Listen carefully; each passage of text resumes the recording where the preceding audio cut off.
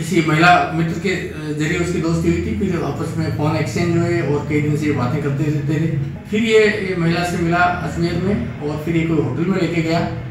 वहाँ इसने इसके साथ शारीरिक संबंध बनाए।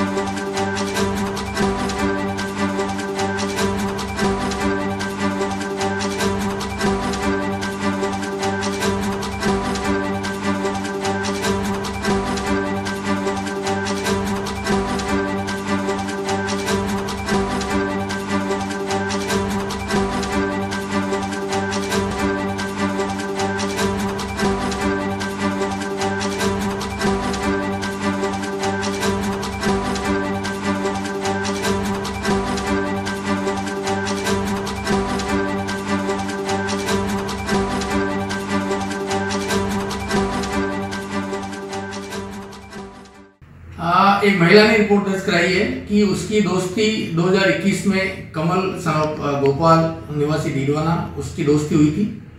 और किसी महिला मित्र के ज़रिए उसकी दोस्ती हुई थी। फिर आपस में फ़ोन एक्सचेंज हुए और कई दिन से बातें करते रहते थे। बीच में डिसकंटिन्यू हो गया। फिर ये 11 दिसंबर को वापस डीडवाना से यहाँ आया और महिला से मिला। इसका बर्थडे था।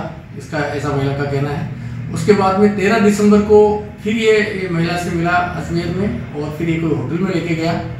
वहाँ इसने इसके साथ शारीरिक संबंध बनाए और इसने कहा कि भाई मैं तेरी बच्ची है उसकी महिला की बच्ची और तेरे को रख लूँगा।